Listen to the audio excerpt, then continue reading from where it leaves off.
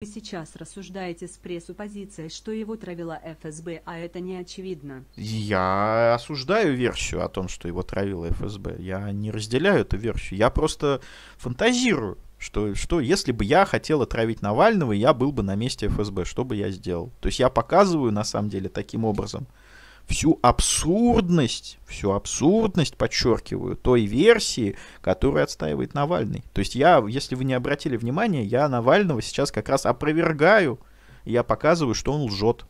Это ложь и клевета, его слова. И вот я прошу это так и записать в протоколе.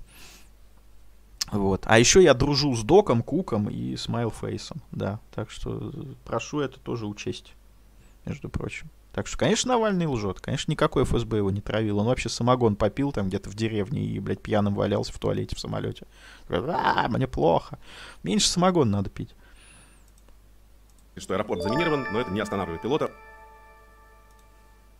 Прилетай в понедельник в 10 часов утра по московскому времени на собеседование. Спасибо, спасибо. Я прошел, прошел собеседование, ура.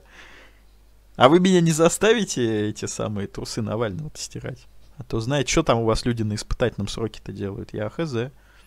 Понимаете? Спасибо. Спасибо. Ну, на самом деле, я не могу к вам пойти на работу, потому что я работаю в другом ведомстве. Но за предложение спасибо. Спасибо. Отдел кадров, вы солнышки там все он все равно сажается в этом аэропорту.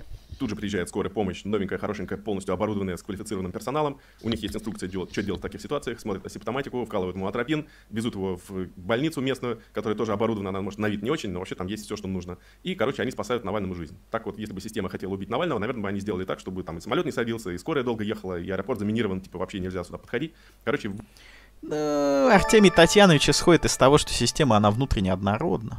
А ответ на ваше рассуждение простой. ФСБ не травила ни Скрипали, ни да. Навального. Новичок просто красивый бренд для СМИ и сплошное наебалово. Есть такое. Вот все правильно, все правильно. Спасибо, не глубоко. Вот, на, наконец-то вот в очередной раз мы поняли друг друга с тобой. Спасибо ты, солнышко.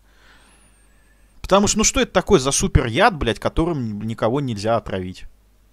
Ну что за хуйня? То есть какая-то бомжиха там в Англии умерла, которая, в принципе, и так бы умерла без этого новичка. То есть травили Скрипалей, блядь, Скрипали выжили. Травили Навального, Навальный тоже выжил. Ну, блядь, ну, по-моему, по-моему, уже после первого кейса уже должны быть, уже должны были возникнуть вопросы к этому суперяду. Что это за суперяд такой, который, блядь, не, не, нельзя никого убить?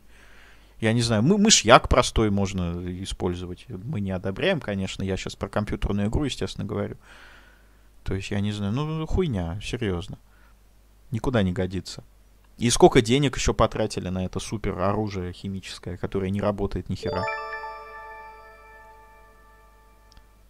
Дополню вашу компьютерную игру. Можно было бы заявить, что снайпер-соратник, фанат Тесака и убийца мстил Эн за отношение Например. к заключению Как, как, как вариант, кстати, вполне. Вполне. А еще лучше заявить, что это было сделано специально, чтобы это свалить на российские власти и вот значит, устроить дестабилизацию, там, ухудшить отношения России с другими странами, там, и так далее. Ну и кроме того, да, эти, значит, радикалы, они могли, значит, убить Навального за то, что он, по их мнению, не настоящий оппозиционер.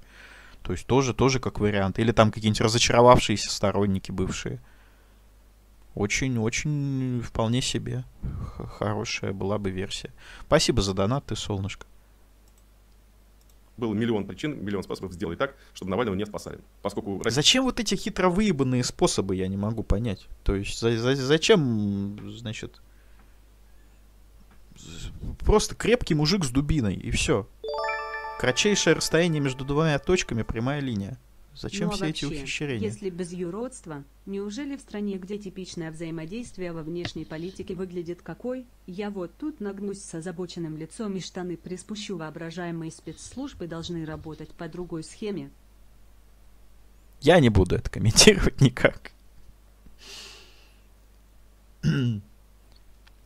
Ну, вообще, если мы про компьютерную игру, то да, есть такое. Есть такое. Полная хуйня, как бы. Спасибо, спасибо, гопник ты, солнышко.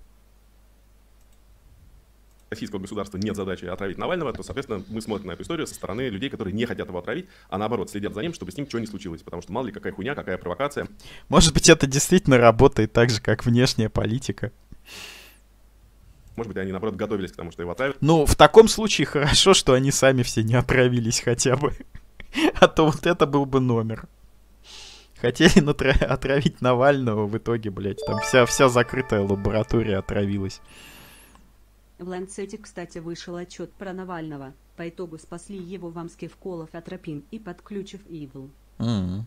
Спасибо, спасибо, не голубок ты, солнышко. Но я, я, насколько понимаю, они вкололи ему тоже, что они вкалывают этим всяким наркоманам при передозе и прочее.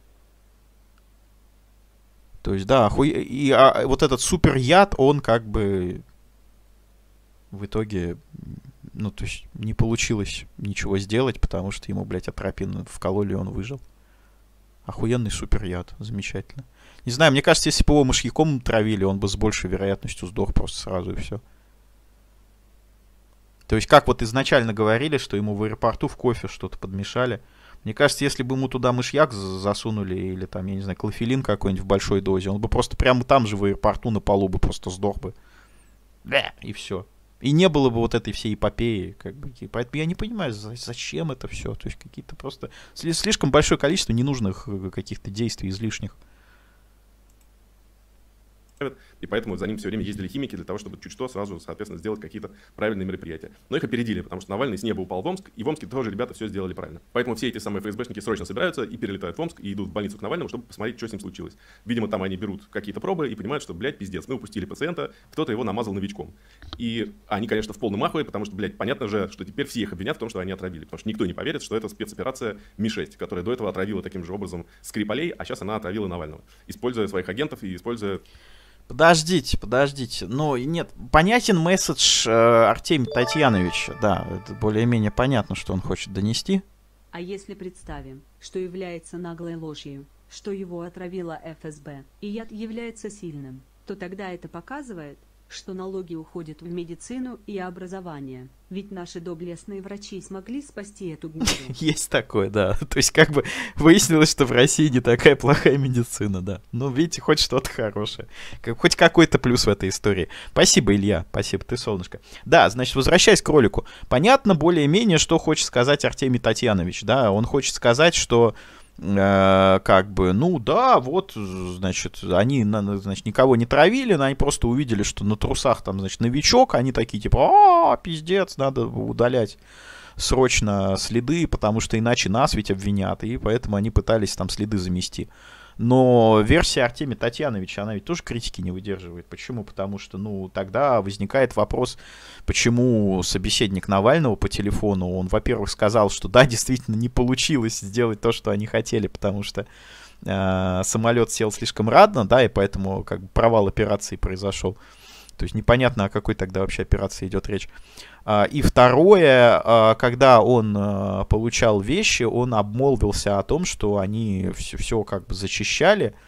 И, и в, ну, в частности, ему указали на то конкретное место, которое нужно особо, то место, которому нужно особо уделить внимание, да, там гульфик. Я, я когда слышу про гульфик, я вспоминаю сцену из э, сериала комедийного «Лорд Блэкидер», «Черная змеюка», где он играл этого там играл этот Роуэн Аткинсон, короче, комедийный актер британский. Вот, там тоже была сцена смешная с Гульфиком. Uh, но там, опять-таки, там не идет речь о том, что это именно новичок. То есть, грубо говоря, до человека, который проводил химическую дочи- зачистку, для, ну, до него вообще не довели, я так понимаю, ну, насколько я понял, что, что именно он удаляет. То есть ему просто сказали обработать вот всю одежду, чтобы там ни, никаких следов, ничего не осталось. То есть это именно что такая химчистка, короче, ФСБшная. Поэтому тут на самом деле к версии Артемия Татьяновича тоже могут вопросы возникнуть. Но поскольку я, в общем-то, честный, законопослушный гражданин, естественно, я скорее буду придерживаться версии Артемия Татьяновича, нежели проклятого Навального. Потому что Артемий Татьянович — это уважаемый человек, который родился у, значит, Татьяны Толстой, Поэтому там плохой человек там не мог родиться, в принципе. Так не получилось зачистить. Новичок нашли же потом. Так в том-то и дело, что они как бы обделались несколько раз. Потому что они как бы... Ну, ис- исходя из ложной клеветнической версии Навального, они обделались несколько раз. Потому что они травили, но не дотравили, и следы новичка удаляли, но не доудалили. Понимаешь, в чем дело? То есть тут как бы обсер по всем абсолютно, блядь, фронтам. То есть все, что они хотели сделать, у них ничего не получилось. Если верить Навальному. Но мы Навальному не верим. Потому что Навальный агент ЦРУ и Госдепа американского. Мы верим Артемию Татьяновичу. Артемий Татьянович честный человек. По крайней мере, в этом вопросе. То, что ФСБшники полные лохи, и вообще это давно не элита какая-то гениальных разведчиков, а это просто, блядь, колхозники под прикрытием. Не одобряем, не одобряем. Ну вот Мирукай в чате пишет, так и есть. Да, действительно, колхозники. Клик-клик, забанил Мирукая. Все, Мирукай, не пиши, не пиши такие гадости настолько тупые, что они не могут просто не пиздеть по телефону о своих рабочих делах. Что, что, конечно, абсолютно просто феерическая тупость из всех возможных тупостей на свете. Но что они делают? Они снимают с Навального одежду, они как могут моют тело, чтобы на нем ничего не осталось. Это занимает какое-то время. И они отдают его, собственно, немцам, понимая, что... Да, в ФСБ идут лучшие люди, потому что стирать трусы Навального, знаете, а бы кому не доверят. Только очень ответственные люди, как бы интеллектуально развитые, достойны того, чтобы стирать трусы Навального, я считаю.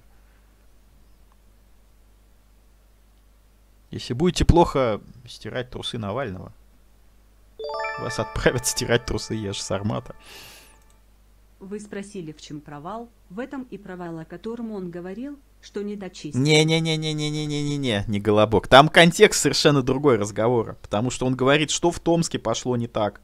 И в итоге этот самый собеседник начинает рассуждать на тему того, что типа, ну вот, самолет слишком быстро посадили, что типа, если бы он летел там до конечной точки э, назначения, то было бы все нормально, а тут скорая помощь, э, значит, сработала слишком быстро. Поэтому нет, там совершенно другой контекст.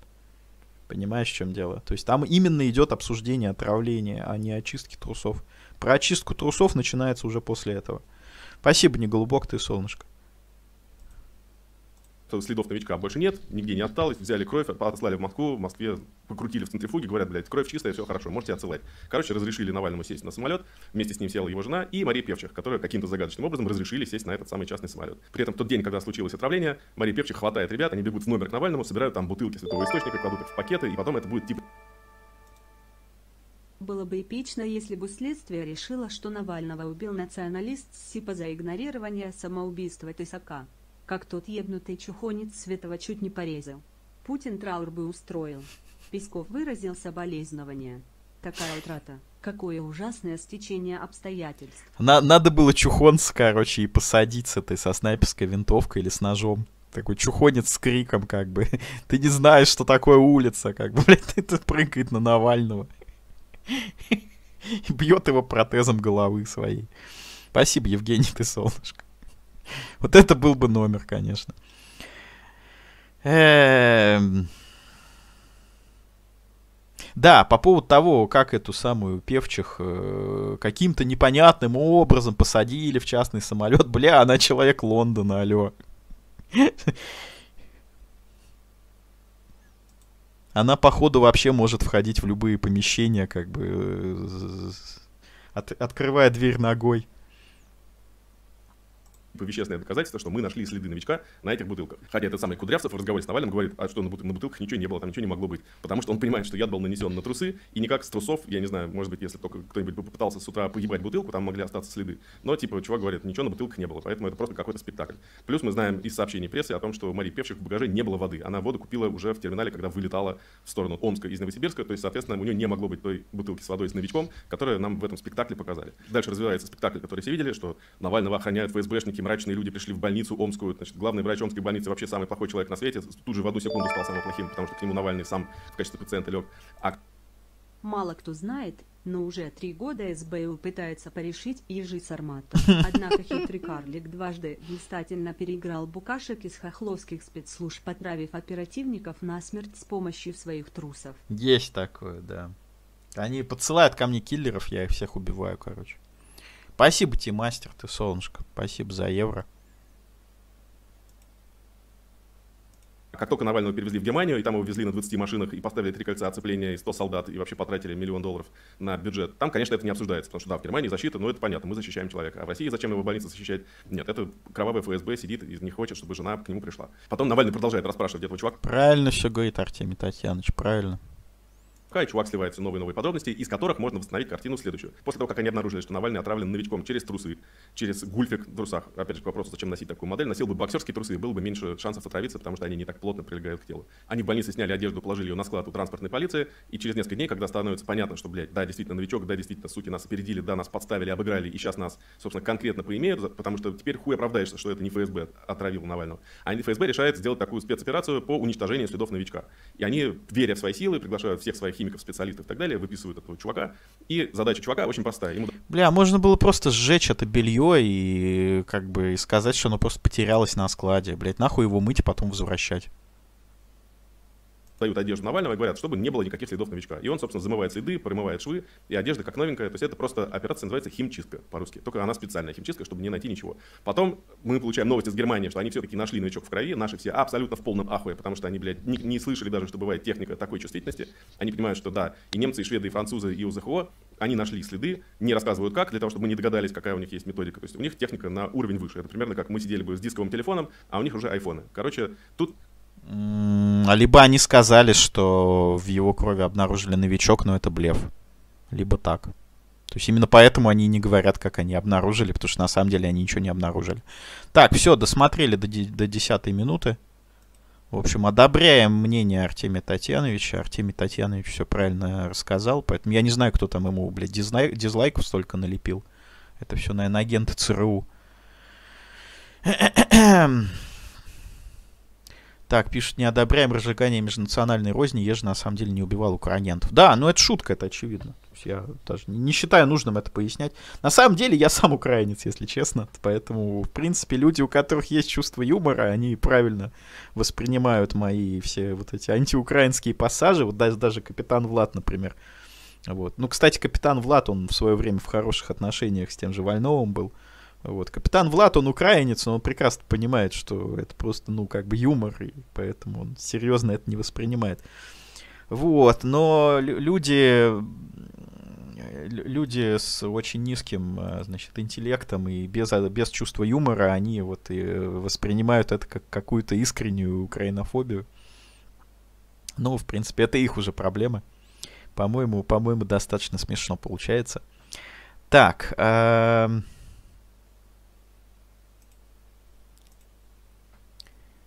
Так, далее, далее. Сейчас мы по ходу до конца будем досматривать ролик э, Навального изначальный, потому что нам на него все-таки вдонили.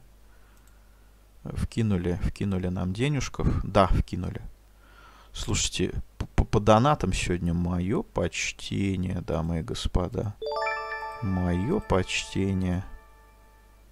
ФСБ хотели посадить Навального на бутылку, на которой был новичок, чтобы отравить, но что-то пошло не так.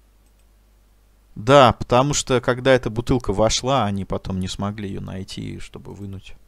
Как бы она так и осталась внутри навсегда. Вот, и это повторилось 10 раз.